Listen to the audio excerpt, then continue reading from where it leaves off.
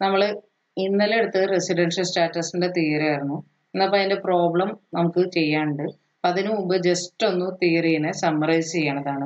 അപ്പോൾ residential status എന്ന് പറഞ്ഞാൽ ഒന്നിലോ റെസിഡന്റ് ആവാം അല്ലെങ്കിൽ നോൺ റെസിഡന്റ് ആവാം. പിന്നെ റെസിഡൻഷ്യൽ സ്റ്റാറ്റസ് ആരുടെയൊക്കെ കണ്ടു? ഇൻഡിവിജ്വലിന്റെ കണ്ടു എച്ച് യു എഫിന്റെ കണ്ടു firm A O P B O I and company ഇവരുടെയൊക്കെ റെസിഡൻഷ്യൽ സ്റ്റാറ്റസ് കണ്ടു. ഇൻഡിവിജ്വലിലെ എച്ച് യു എഫിനും റെസിഡൻഷ്യൽ സ്റ്റാറ്റസ് കാണുമ്പോൾ റെസിഡന്റ് ആവാം നോൺ റെസിഡന്റ് ആവാം. പക്ഷെ റെസിഡന്റ് ആയി കഴിഞ്ഞാൽ അവിടെ വെച്ച് നിർത്തരുത്. റെസിഡന്റ് ആൻഡ് ഓർഡിനറിലി റെസിഡന്റ് ഉണ്ട്. Resident but not ordinarily resident ഉണ്ട്. ഫേമും എ ഒ പിയും പി ഒ ഐയും കമ്പനിക്കും റെസിഡന്റ് എന്ന് പറഞ്ഞ കാറ്റഗറി അല്ലെങ്കിൽ അവരെന്തായിരിക്കും? നോൺ റെസിഡന്റ് ഓർഡിനറി റെസിഡന്റോ നോട്ട് ഓർഡിനറി റെസിഡന്റോ ഫേമിനോ കംപ്ലി കമ്പനിക്കൊന്നും അപ്ലിക്കബിൾ അല്ല. ഓക്കെ നമുക്ക് ഇൻഡിവിജ്വലിന്റെ റെസിഡൻഷ്യൽ സ്റ്റാറ്റസിലേക്ക് പോവാം. ഇൻഡിവിജ്വലിന്റെ റെസിഡൻഷ്യൽ സ്റ്റാറ്റസിൽ ഫസ്റ്റ് നമ്മൾ എന്താ നോക്കേണ്ടത്? ബേസിക് കണ്ടീഷൻ നോക്കണം. ബേസിക് കണ്ടീഷൻ എന്ന് പറഞ്ഞാൽ ഫസ്റ്റ് എന്താ? പ്രീവിയസ് ഇയറിൽ വൺ എയ്റ്റി ടു ഡേയ്സ് ഇന്ത്യയിൽ വേണം. അല്ലെങ്കിൽ ഓറാണ് പ്രീവിയസ് ഇയറിൽ എത്ര ദിവസം വേണം? വൺ എയ്റ്റി ടു ഡേയ്സ് അല്ലെങ്കിൽ എന്താ? പ്രീവിയസ് ഇയറിൽ സിക്സ്റ്റി ഡേയ്സും അത് നയന്റീൻ ട്വന്റിയിൽ sixty ഡേയ്സും four year preceding the previous ഇയറിൽ at least three sixty five ഡേയ്സും വേണം. Any one of the basic condition is satisfied then the individual is resident. If none of the basic condition is satisfied then the individual is non-resident. ആ basic condition നോക്കുമ്പോൾ ശ്രദ്ധിക്കേണ്ടത് ഏതെങ്കിലും ഒരു condition satisfy ചെയ്താൽ മതി. രണ്ട് കണ്ടീഷനും satisfy ചെയ്യണമെന്ന് നിർബന്ധമില്ല. ഒരെണ്ണം സാറ്റിസ്ഫൈ ചെയ്ത് കഴിഞ്ഞാൽ ഇൻഡിവിജ്വൽ റെസിഡന്റ് ആയി. None of the basic condition is satisfied is non resident ഇതിൽ ഒരു എക്സെപ്ഷൻ നമ്മൾ പഠിച്ചിട്ടുണ്ട്. ഫസ്റ്റ് ബേസിക് കണ്ടീഷൻ മാത്രമേ അപ്ലിക്കബിൾ ആവുള്ളൂ എന്ന് പറയുന്ന കാറ്റഗറി ആരൊക്കെയാണ്? First one crew of an Indian ship second one person of Indian origin who comes to India on a visit and the third one an individual who leaves India for employment purpose ഈ മൂന്ന് പേരുടെ കാറ്റഗറിയിലും ഈ മൂന്ന് കാറ്റഗറിയിലും only the first basic condition is applicable second basic condition is not applicable okay. ഈ crew മെമ്പറുടെ കേസിൽ തന്നെ വീണ്ടും വരികയാണെങ്കിൽ ഷിപ്പിൽ ജോയിൻ ചെയ്ത ഡേറ്റ് തൊട്ട് ഷിപ്പിൽ നിന്ന് സൈൻ ഓഫ് ചെയ്യണ വരെയുള്ള period shall not be included in the period of stay in India ആരുടെ കേസിൽ ശ്രദ്ധിക്കണം? Crew member of an Indian ഷിപ്പിന്റെ കേസിൽ ഷിപ്പിൽ ജോയിൻ ചെയ്ത ഡേറ്റ് തൊട്ട് ഷിപ്പിൽ നിന്ന് ഷൈൻ ഓഫ് ചെയ്യണ ഡേറ്റ് വരെ shall not be considered period of stay in India okay basic condition കഴിഞ്ഞു കഴിഞ്ഞാൽ നമ്മൾ എങ്ങോട്ട് നോക്കണം? അഡീഷണൽ കണ്ടീഷൻ നോക്കണം. അഡീഷണൽ കണ്ടീഷനും രണ്ടെണ്ണം ഉണ്ട്. പക്ഷെ ഇവിടെ രണ്ട് അഡീഷണൽ കണ്ടീഷനും സാറ്റിസ്ഫൈ ചെയ്യണം. ഫസ്റ്റ് അഡീഷണൽ കണ്ടീഷൻ എന്ന് വെച്ചാൽ is a resident in any two out of ten year preceding the previous year previous ഇയറിന് മുമ്പ്. അഡീഷണൽ കണ്ടീഷനിൽ എവിടെ പ്രീവിയസ് ഇയറിന് വലിയ റെലവൻസ് ഇല്ല.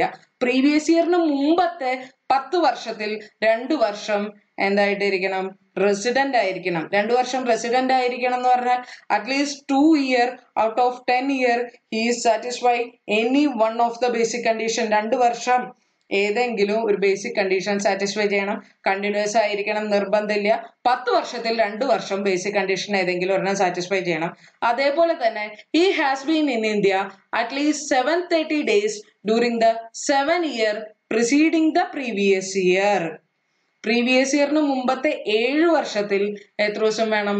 എഴുന്നൂറ്റി മുപ്പത് ദിവസം വേണം. Both additional condition is satisfied then the individual is resident and ordinarily resident if only one or none of the additional condition is satisfied then the individual is resident not ordinarily resident അപ്പൊ ഇതാണ് നമ്മൾ ഇന്നലെ ഇൻഡിവിജ്വലിന്റെ residential സ്റ്റാറ്റസിൽ നോക്കിയിട്ടുള്ളത്. Okay Determine the residential status of RAM for the assessment year 2021 in the following situation. First one, Mr. Ram, an Indian citizen, left India on 22nd September 2019 for the first time went for further studies to USA. Pure case, Ram residential status ആണ് നോക്കേണ്ടത് Ram India വിട്ടു പോയത് first ടൈമിലാണെന്ന് twenty second September two thousand nineteen അപ്പോൾ നമ്മളുടെ previous ഇയറിൽ first April two thousand nineteen തൊട്ട് twenty second September two thousand nineteen വരെ രാം എവിടെ ഉണ്ടായിരുന്നു ഇന്ത്യയിൽ ഉണ്ടായിരുന്നു പിന്നെ രാം ഔട്ട്സൈഡ് ഇന്ത്യ പോയത് ഫർദർ സ്റ്റഡീസിനാണ് ഫസ്റ്റ് ബേസിക് കണ്ടീഷൻ ആയാലും സെക്കൻഡ് ബേസിക് കണ്ടീഷൻ ആയാലും രാമിന് അപ്ലിക്കബിൾ ആണ്. രാമിന്റെ total period of stay during the previous year എന്ന് പറയുന്നത് ഏപ്രിൽ മുപ്പത് ദിവസം മെയ് മുപ്പത്തൊന്ന് ജൂൺ മുപ്പത് ജൂലൈ മുപ്പത്തൊന്ന് ഓഗസ്റ്റ് മുപ്പത്തൊന്ന് സെപ്റ്റംബർ ട്വന്റി ടു. അപ്പോൾ ടോട്ടൽ പീരീഡ് ഓഫ് സ്റ്റേ രാമിന്റെ എന്ന് പറയുന്നത് വൺ സെവന്റി ഫൈവ് ഡേയ്സ് ആണ്.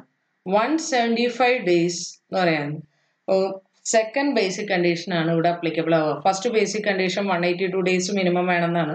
Second basic condition sixty days during the previous year and three sixty five days during the four year preceding the previous year ആണ് sixty ഡേയ്സിന് മുകളിലുണ്ട് one seventy five days ഉണ്ട് four year preceding the previous ഇയറിൽ രാം എന്തായാലും satisfy ചെയ്തിട്ടുണ്ട്. കാരണം ഇതിനു മുമ്പ് ഇന്ത്യയിൽ തന്നെയായിരുന്നു. ഫസ്റ്റ് ടൈമിലാണ് രാം എന്ന് ഇന്ത്യ വിട്ടു പോയത്. Twenty second September two thousand നയന്റീനിലാണ് India വിട്ടു പോയത് ഫസ്റ്റ് ടൈം അപ്പൊ അതിന് മുമ്പത്തെ നാല് വർഷമായാലും രാം ഇന്ത്യയിൽ തന്നെ ഉണ്ടായിരുന്നു. മുന്നൂറ്റി അറുപത്തഞ്ച് മുന്നൂറ്റി അറുപത്തഞ്ച്.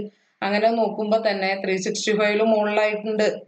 Okay Ram second basic condition satisfy ചെയ്തിട്ടുണ്ട്. അതേപോലെ തന്നെ രണ്ട് അഡീഷണൽ കണ്ടീഷനും സാറ്റിസ്ഫൈ ചെയ്തിട്ടുണ്ട്. കാരണം ഫസ്റ്റ് ടൈമിലാണ് രാം ഇന്ത്യ വിട്ടു പോയത്. അപ്പോൾ seven thirty days seven year preceding the previous ഇയറിലുണ്ട് അതേപോലെ തന്നെ രണ്ട് വർഷം പ്രസിഡന്റ് ആണ്. Both additional conditions are satisfied mister Ram is a resident and ordinarily resident okay next നോക്കുക. രാം യു എസ് എയിലേക്ക് പോയത് to work as an officer of a company in U S A എന്തിനു വേണ്ടിയിട്ടാണ് പോയിട്ടുള്ളത്? എംപ്ലോയ്മെന്റ് പർപ്പസിന് വേണ്ടിയിട്ടാണ് രാം പോയിട്ടുള്ളത്. അപ്പൊ ആ ഒരു കേസിൽ ഫസ്റ്റ് ബേസിക് കണ്ടീഷൻ മാത്രമേ രാമിന് applicable ആയിരിക്കുള്ളൂ. To work as an officer that is employment purpose only the first basic condition is applicable in the case of Ram. അപ്പൊ പ്രീവിയസ് ഇയറിൽ എത്ര ദിവസം മിനിമം നമ്പർ വേണം stay one eighty two days ഈ കേസിൽ എങ്ങനെയാണ്? വൺ സെവന്റി ഫൈവ് ഡേയ്സ് ആണ് total period of stay അപ്പോൾ first basic condition is not satisfied mister Ram is a non resident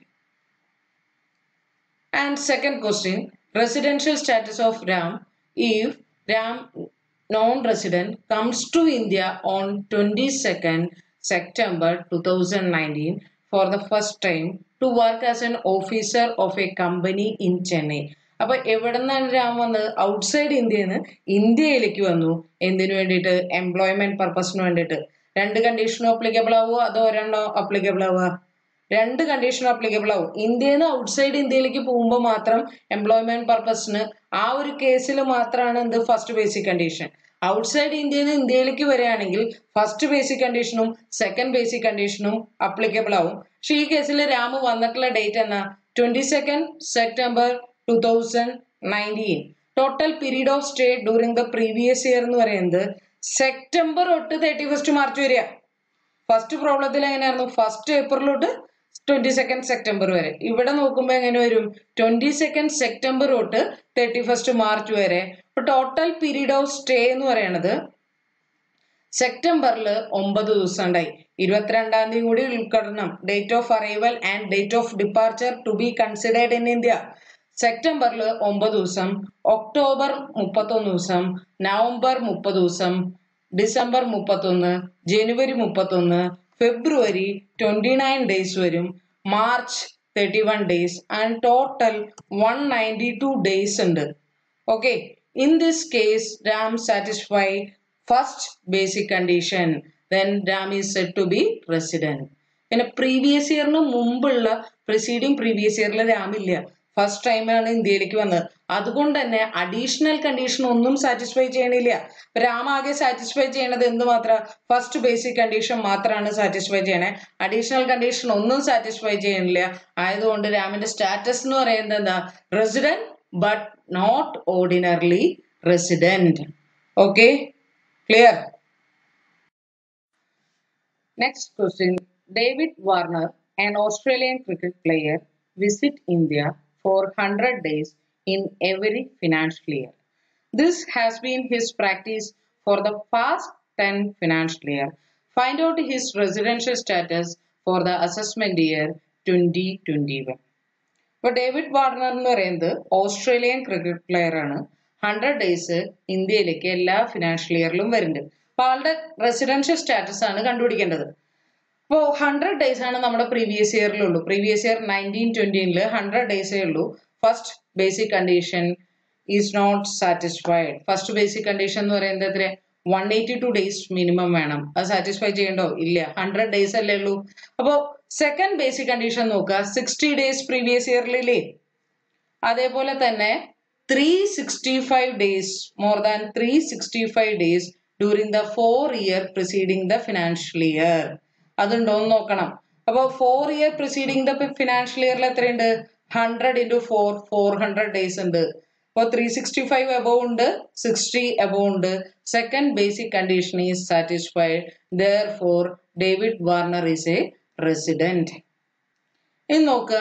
resident ആയി കഴിഞ്ഞാൽ നമ്മൾ എന്ത് നോക്കണം? അഡീഷണൽ കണ്ടീഷൻ നോക്കണം.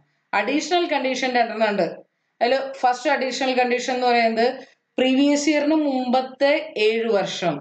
Seven year preceding the previous ഇയറിൽ സെവൻ തേർട്ടി ഡേയ്സ് വേണം. ഇവിടെ ആകെ എത്രയേ ഉള്ളൂ? സെവൻ ഹൺഡ്രഡേ ഇല്ലേ ഉള്ളൂ. അപ്പൊ അഡീഷണൽ കണ്ടീഷൻ ഒരെണ്ണം സാറ്റിസ്ഫൈ ചെയ്യണില്ലല്ലോ. എന്ത് വന്നാലും. രണ്ട് അഡീഷണൽ കണ്ടീഷനും സാറ്റിസ്ഫൈ ചെയ്താലല്ലേ റെസിഡന്റ് ആൻഡ് ഓർഡിനറിലി ആവുള്ളൂ. അപ്പൊ ഒരു അഡീഷണൽ കണ്ടീഷൻ ഇവിടെ സാറ്റിസ്ഫൈ ചെയ്യണില്ല. അതുകൊണ്ട് ഡേവിഡ് വാർണറുടെ സ്റ്റാറ്റസ് എന്തായിരിക്കും? Resident but not ordinarily resident during the previous year nineteen twenty കാരണം സെക്കൻഡ് അഡീഷണൽ കണ്ടീഷൻ അതായത് അഡീഷണൽ കണ്ടീഷന്റെ രണ്ടാമത് പറഞ്ഞ പോയിന്റ് ആണ്. സെവൻ ഇയറിൽ സെവൻ ഇയർ എന്ന് പറഞ്ഞാൽ seven year preceding the previous ഇയറിൽ സെവൻ തേർട്ടി ഡേയ്സ് മിനിമം വേണം. പക്ഷെ ഇവിടെ ആകെ എത്രയുള്ളൂ സെവൻ ഹൺഡ്രഡ് ഡേയ്സേ ഉള്ളൂ. അഡീഷണൽ കണ്ടീഷൻ സാറ്റിസ്ഫൈ ചെയ്യില്ല. അതുകൊണ്ട് തന്നെ David Warner is resident but not ordinarily resident okay next question Mr. Aravind, a British national, comes to India for the first time during the previous year 1516. During the financial year 1516, 1617, 1718, 1819, and 1920, he was in India for 50 days, 75 days, 95 days, 142 days, and 170 days, respectively. Determine his status for the assessment year twenty twenty one ഇതിൽ ക്വസ്റ്റ്യനിൽ തന്നെ ഓരോ വർഷവും എത്ര ദിവസം ആൾ ഇന്ത്യയിലുണ്ടെന്ന് തന്നിട്ടുണ്ട്. അപ്പൊ നമുക്ക് നോക്കാം പ്രീവിയസ് ഇയറിൽ എത്ര ദിവസം ഉണ്ട് പ്രീവിയസ് ഇയറിലെ ദിവസം എന്ന് പറയുന്നത് വൺ സെവന്റി ഡേയ്സ് ആണ് പ്രീവിയസ് ഇയറിലുള്ളത് വൺ സെവന്റി ഡേയ്സ് എന്ന് പറഞ്ഞാൽ first basic condition is not satisfied കാരണം വൺ എയ്റ്റി ടു മിനിമം വേണം. ആകെ എത്രയേ ഉള്ളൂ? വൺ സെവന്റി ഡേയ്സേ ഉള്ളൂ. സെക്കൻഡ് ബേസിക് കണ്ടീഷൻ സാറ്റിസ്ഫൈ ചെയ്യോ ഇല്ലയെന്ന് നോക്കാം. പ്രീവിയസ് ഇയറിൽ സെക്കൻഡ് ബേസിക് കണ്ടീഷൻ എന്ന് പറഞ്ഞാൽ എത്ര പ്രീവിയസ് ഇയറിൽ സിക്സ്റ്റി ഡേയ്സും വേണം. Four year preceding the previous ഇയറിൽ ത്രീ സിക്സ്റ്റി ഫൈവ് ഡേയ്സും വേണം. അപ്പൊ പ്രീവിയസ് ഇയറിൽ എത്ര ദിവസം ഉണ്ട്? മോർ ദാൻ സിക്സ്റ്റി ഉണ്ട് വൺ സെവന്റി ഇല്ലേ?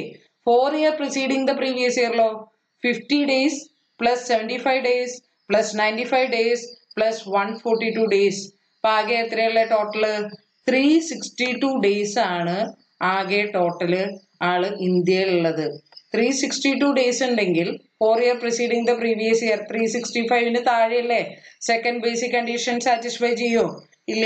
അതുകൊണ്ട് രണ്ട് ബേസിക് കണ്ടീഷൻ ആൾ സാറ്റിസ്ഫൈ ചെയ്യില്ല both of the basic condition is not satisfied mister resident during the previous year twenty twenty one first basic condition one eighty two ഇല്ല. Second sixty more ഉണ്ട്. പക്ഷെ എന്താണ് three sixty two days ആണ് four year proceeding ഉള്ളൂ. അതുകൊണ്ട് he is non resident for the previous year two thousand twenty twenty one okay okay next question mister Akash Indian citizen and a member of a crew of a Singapore-bound Indian ship engaged in carriage of passengers in international traffic departing from Chennai port on 7th August 2019.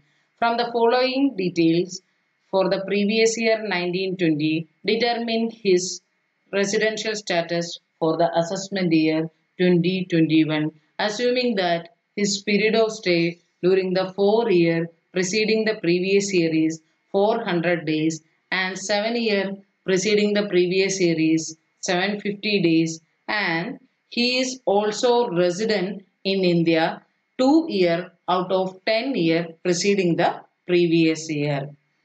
Next particulars annendu date of joining the ship 7th August 2019 and date of signing of the ship 10th February 2020. അപ്പൊ ഈ ഒരു പ്രോബ്ലത്തിൽ ശ്രദ്ധിക്കേണ്ട point എന്താ വെച്ചാൽ mister Akash ആണ് crew of an Indian ship ആണ്. ഈ point എന്ന് പറയുന്നത് crew member of an Indian ഷിപ്പിന് first basic condition മാത്രമേ applicable ആയിരിക്കുള്ളൂ. At least first basic condition എന്ന് പറയുന്നത് എന്താ? Minimum number of stay during the previous year at least one eighty two days വേണം. അതേപോലെ തന്നെ ശ്രദ്ധിക്കേണ്ട പോയിന്റ് എന്താ? Date of joining to the ഷിപ്പും sign off ചെയ്യണ വരെയുള്ള ഡേറ്റ് വരെ ഇന്ത്യയിലുള്ളതായിട്ട് കണക്കാക്കില്ല. അതെന്ന് പറഞ്ഞാൽ seventh August two thousand nineteen തൊട്ട് tenth February two thousand twenty വരെ shall not considered period of stay in India അപ്പോൾ seventh August two thousand nineteen തൊട്ട് tenth February two thousand twenty വരെ എത്ര ദിവസം ഉണ്ടെന്ന് പറഞ്ഞാൽ total number one eighty eight days ഉണ്ട്. വൺ എയ്റ്റി എയ്റ്റ് ഡേയ്സ് എന്ന് പറഞ്ഞാൽ ഓഗസ്റ്റിൽ ട്വന്റി ഫൈവ് ഡേയ്സും സെപ്റ്റംബർ തേർട്ടി ഡേയ്സും October thirty first ഡേയ്സും November thirty December thirty first January thirty first and February ten ഇത്ര ദിവസമാണ് എന്ത് ഇന്ത്യയിൽ ഉള്ളതായിട്ട് കണക്കാക്കാത്തത്. Have to be excluded from the period of his stay in India one eighty eight days ഇന്ത്യയിലുള്ളതായിട്ട് കണക്കാക്കില്ല. Total ബാക്കിയുള്ള ദിവസം ഇന്ത്യയിലുണ്ടെന്ന് നമുക്ക് assumption ചെയ്യേണ്ടി വരും. വൺ എയ്റ്റി എയ്റ്റ് ഡേയ്സ് എന്തില്ല? ഇന്ത്യയിലില്ല. അപ്പൊ അതിന്റെ അർത്ഥം എന്താ? ബാക്കിയുള്ള ദിവസം ഇന്ത്യയിലുണ്ടെന്ന് അത് നമുക്ക് അസംഷൻ ചെയ്യാം.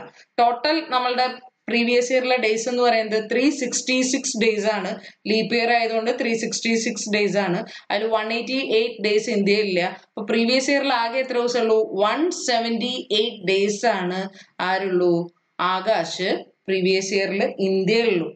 ഫസ്റ്റ് ബേസിക് കണ്ടീഷൻ മാത്രമേ ആകാശിന്റെ കേസിൽ applicable ആയിരിക്കുള്ളൂ. Minimum number one eighty two days വേണം ഇതിലാകെ എത്രയുള്ളൂ വൺ സെവന്റി എയ്റ്റ് ഡേയ്സ് മാത്രമേ ഇന്ത്യയിലുള്ളൂ. First basic condition is not satisfied, Mr. Agash is a non-resident. കാരണം second basic condition is not applicable in the case of crew member of an Indian ship. Therefore, Mr. Agash is a non-resident for the assessment year 2021. പിന്നെ അതിന്റെ താഴെ നോട്ടായിട്ട് കൊടുത്തേക്കുന്നത് എന്താണെന്ന് വെച്ചാൽ previous ഇയറിൽ നമ്മൾ എന്തായി സ്റ്റാറ്റസ് നോൺ റെസിഡന്റ് ആയി അതുകൊണ്ട് തന്നെ അഡീഷണൽ കണ്ടീഷൻ നോക്കേണ്ട ആവശ്യമില്ല പ്രീവിയസ് ഇയറിന് മുമ്പത്തെ പ്രിസീഡിംഗ് ഡേയ്സിലെ സ്റ്റേ നോക്കേണ്ട ആവശ്യമില്ല ഒന്നുമില്ല Akash is a non-resident for the assessment year 2021. Clear ಆಯಿಲಿ? Next question, illustration 5. The business of a HUF transacted from UK and all the policy decisions are taken there.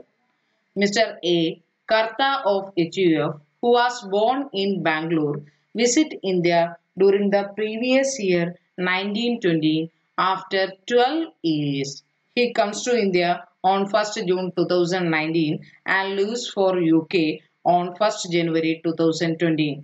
Determine residential status of Mr. A and the HUF for the assessment year 2021. ഇപ്പൊ ഈ ഒരു ക്വസ്റ്റ്യനിൽ ശ്രദ്ധിക്കേണ്ടത് എന്താണെന്ന് mister എയുടെ സ്റ്റാറ്റസും പറഞ്ഞിട്ടുണ്ട്. അതായത് കർത്താവ് ഓഫ് എച്ച് യു എഫിന്റെ സ്റ്റാറ്റസ് കണ്ടുപിടിക്കാനും പറഞ്ഞിട്ടുണ്ട്. അതേപോലെ തന്നെ എച്ച് യു എഫിന്റെ സ്റ്റാറ്റസും കണ്ടുപിടിക്കാൻ പറഞ്ഞിട്ടുണ്ട്. ഇപ്പൊ എച്ച് യു എഫിന്റെ കേസിലാണെങ്കിൽ യു കെയിൽ വെച്ചാണ് എല്ലാ പോളിസി ഡിസിഷനും ടേക്കൺ ചെയ്യണേ. ഇപ്പൊ എച്ച് യു എഫിന്റെ റെസിഡൻഷ്യൽ സ്റ്റാറ്റസ് എന്ന് പറഞ്ഞാൽ എന്താ ഉദ്ദേശിക്കുന്നത് ഇവിടെ നോക്കുക. എച്ച് യു എഫിന്റെ residential status if the control and management of its affairs situated wholly or partly from India ആണെങ്കിൽ എച്ച് യു എഫ് റെസിഡന്റ് ആണ്. ഹോളി ഔട്ട്സൈഡ് ഇന്ത്യ ആണെങ്കിൽ H U F non resident ആണ്. അപ്പൊ ഈ ഒരു കേസിൽ all the policy decisions are taken from U K that is wholly outside India ആണ് H U എഫിന്റെ സ്റ്റാറ്റസ് എന്തായിരിക്കും? നോൺ റെസിഡന്റ് ആണ്. ഇനി എച്ച് യു എഫ് റെസിഡന്റ് ആണെങ്കിൽ മാത്രം കർത്തയുടെ സ്റ്റാറ്റസിലേക്ക് പോയാൽ മതി.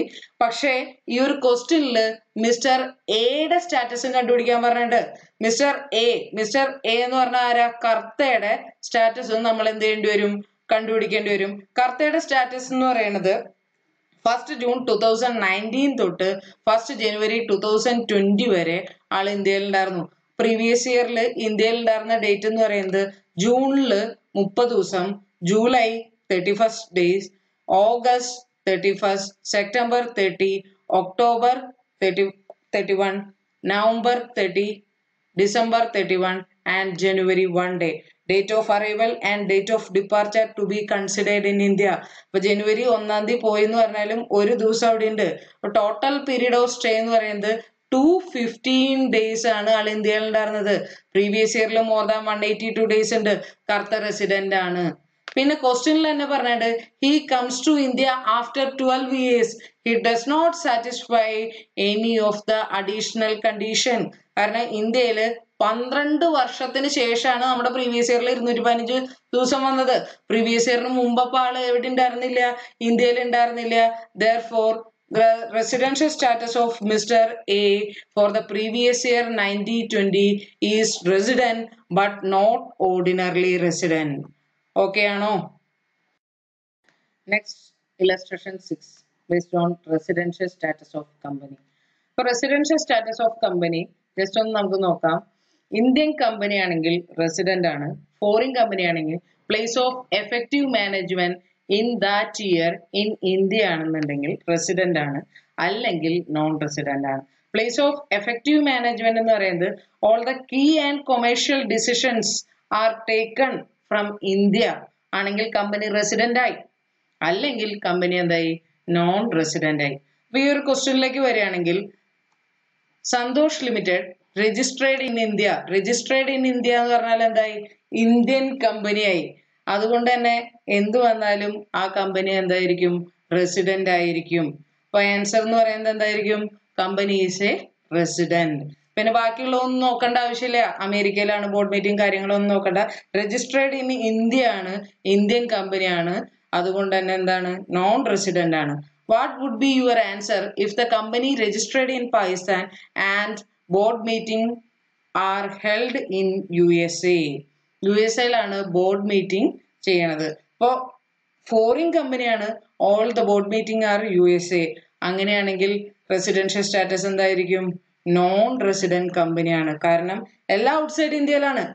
ഒന്നിലോ ഇന്ത്യൻ കമ്പനി ആയിരിക്കണം. അല്ലെങ്കിൽ എന്താ ഫോറിൻ കമ്പനി ആണെങ്കിൽ all the policy decisions are taken from India ആയിരിക്കണം. ഇന്ത്യ ആണെങ്കിലാണ് റെസിഡന്റ് അല്ലെങ്കിൽ എന്താണ് നോൺ റെസിഡന്റ് ആണ്. Next what would be your answer if the company is registered in South Africa and all the board meeting during the previous year held in India എല്ലാ board meeting ഇന്ത്യയിലാണ് whole decisions are taken from India therefore company is a resident next ഒരു question കൂടെ ഉണ്ട്. What would be your answer if the company in registered in Pakistan and board meeting relevant previous year held in India except one of which are held in South Africa ഒരെണ്ണം South ആഫ്രിക്കയിലെ whole in India ആണെങ്കിൽ resident ഒരെണ്ണം South ആഫ്രിക്കയിലായതുകൊണ്ട് എന്ത്? Company is non resident ആണ്. Clear ആണോ? ഇപ്പൊ നാല് ക്വസ്റ്റ്യൻ ആണുള്ളത്. എന്നാലും നോക്കി വെക്കുക. ഓക്കെ